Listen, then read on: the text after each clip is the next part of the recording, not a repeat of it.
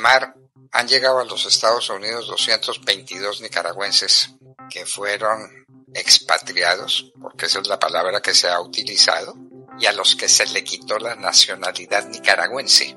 A uno le pueden quitar cualquier cosa, pero la nacionalidad no se la pueden quitar. Le pueden quitar derechos políticos o derechos civiles, como una pena, como una sanción dentro de un proceso, pero la nacionalidad no se le quita a nadie.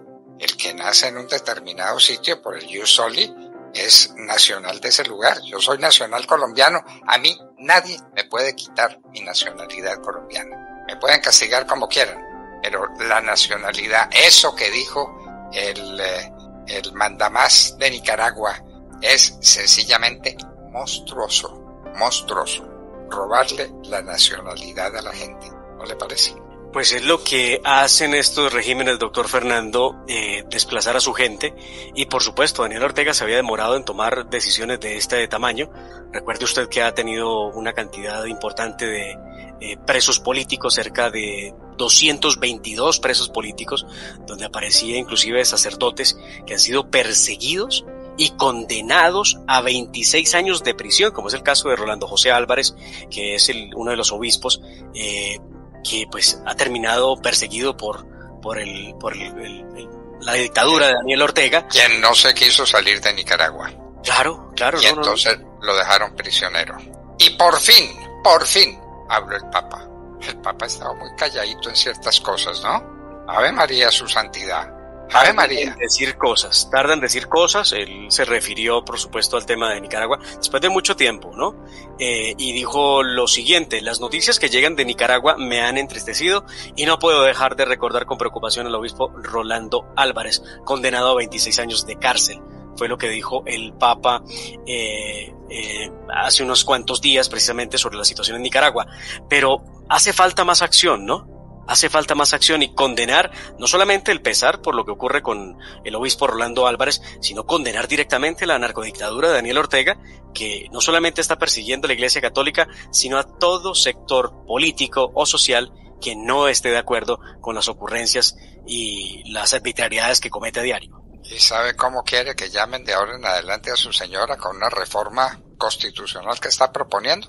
Sí, nos hablan de la copresidenta o cosa por ¿Cómo, ¿Cómo le parece? La copresidenta. En Nicaragua vamos a tener presidente, que es un tirano, y la copresidenta, que será la tirana o la esposa del tirano. ¿Quién sabe cómo se manejará eso? ¡Qué horror! ¡Qué horror! Bueno, de la enorme mortandad de peces que hubo en Ohio. Una enorme mortandad por un camión que iba cargado con unos eh, elementos químicos venenosos, por supuesto, que se estrelló y el contenido rodó a un río y han sido millares los peces muertos. ¡Ay, qué accidentes! ¿Y esto a dónde irá a parar? Tenemos que destacar algunas cosas de las que hablaremos despacio más adelante. El precio de los huevos, que ha subido escandalosamente también en los Estados Unidos como resultado de la gripa aviar que ha matado millones de aves, de gallinas, millones, no hablo de unos cuantos miles, de millones de, de gallinas. Cuidado con la gripe aviar, cuidado. Hay que tomar medidas preventivas si ellas son posibles, pero hay que tomarlas o encomendarnos a Dios. La peor de las torturas que se impuso, se impuso puso en las, cárceles de Nicaragua fue la tortura psicológica. Nada peor que eso. Nada peor que gravitar sobre el equilibrio emocional de los presos. Es la mayor de las crueldades. Ese señor Ortega merece juicio público internacional. En Panamá no hemos destacado esta noticia o tenemos que volver sobre ella. Un accidente en un autobús con 39 muertos, 39 muertos en Panamá.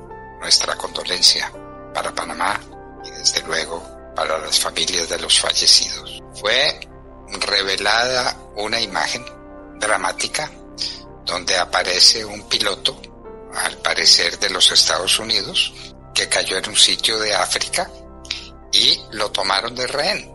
¿Qué ha pasado con ese piloto? No se volvió a saber nada después de la fotografía que le tomaron. Dios tenga compasión de él. Baja la tasa de natalidad en los Estados Unidos. Baja la tasa. Eso mm, puede ser supremamente grave. Supremamente grave. Hay países en Europa que están compensando con la migración la falta de natalidad. Uno de ellos es Alemania. Puede ser que en los Estados Unidos ocurra lo mismo. Pero en todo caso, la baja tasa de la natalidad es razón muy preocupante, como lo contaremos más adelante a ustedes. en el Super Bowl, que es el acontecimiento deportivo más importante de los Estados Unidos eh, y uno de los más importantes del mundo, desde luego no compara con el Campeonato Mundial de Fútbol que se extiende por todo el planeta. Este, el Super Bowl, es del fútbol americano, que por alguna razón, que no entendemos cuál es, es un deporte apasionante, maravilloso, que no se practica sino en los Estados Unidos. En ninguna otra parte se practica el fútbol americano. Las cifras que se movieron, el dinero que se movió con ocasión del Super Bowl son sencillamente astronómicas. El país entero se paralizó esperando el partido entre los Eagles, las Águilas y los Chefs, los jefes. Ganaron los jefes mmm, en unas condiciones que la gente ha discutido mucho y se habla mucho de la última falta que dio ocasión a la anotación que le dio ventaja a los jefes. Pero así es el deporte. Alguien tiene que decir la última palabra. Ustedes recuerdan uno de los tiroteos se cometieron en los Estados Unidos y que han escandalizado al mundo y a los Estados Unidos sobre todo, en Buffalo. Bueno, el, eh, la persona que fue capturada y que se demostró había sido el autor de semejante barbaridad fue condenado a cadena perpetua. En el estado donde fue juzgado no había pena de muerte, cadena perpetua para ese asesino. Bien se lo merece si realmente fue el culpable de semejante barbaridad. Seguimos con la guerra en Ucrania. Rusia intensifica los ataques. Una guerra que nadie quiere. Empezando por los rusos, que serían los primeros actores de esa guerra. Nadie quiere esa guerra, pero Rusia la intensifica. El señor Putin definitivamente es el gran Hitler de nuestro tiempo. De mar, le cuento al oído una noticia que a mí me trae muy preocupado, muy inquieto. Sabe que el precio de los huevos en los Estados Unidos ha subido en el curso de unas cuantas semanas, tal vez de un par de meses, un 70% el precio de los huevos. ¿Por qué cree que me preocupe la noticia de mar? Pues doctor Fernando, eh, hemos visto cómo los precios alcanzaron ese precio promedio de 285,7 centavos por docena, que son 2,85 dólares en el 2022, un incremento del 70% como usted lo dice. Y me pregunta por qué creo yo que debe preocuparnos el asunto? Pues no sé, he entendido que muchos de los insumos agrícolas y de alimento para mascotas y aves, eh, animales de corral y demás, vienen desde ese lugar de Europa donde se presenta la guerra entre Ucrania y Rusia. ¿Será esa la razón? No, no, hay una razón más inquietante.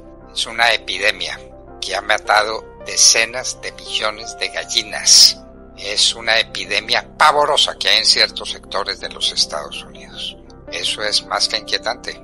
Pero claro, porque que esa epidemia dé un brinquito para Colombia y los demás países de Latinoamérica y tengamos una mortandad de millones de gallinas, le preocupa. A mí me preocupa inmensamente. Pero por supuesto que es de preocupar porque de hecho el nivel de el coste de los huevos no está barato la gente sabe que tiene como recurso eh, el huevo como la forma de poder alimentarse con algo de proteína, por supuesto que le brinda el huevo, el huevo es carísimo, claro, carísimo. Hoy una carastilla, una cubeta de huevos, una tableta de huevos se consiguen por barato y eso si usted lo consigue fuera de la ciudad capital en 18 mil pesos, eh, siendo un huevo normal, pues. Y un huevo de buena calidad no baja de 25 mil pesos eh, la, la, cubeta de huevos Entonces, claro, por supuesto que preocupa de sobremanera.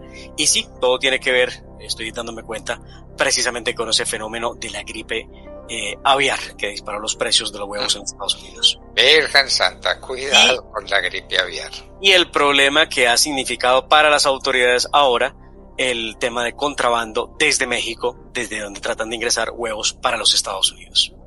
Bueno, pero la epidemia, la gripe aviar es un peligro fundamental para estas economías y para la gente. En los Estados Unidos, imagínese usted la tecnología, eh, los eh, medicamentos, los veterinarios que pusieron en movimiento para contener la gripe aviar.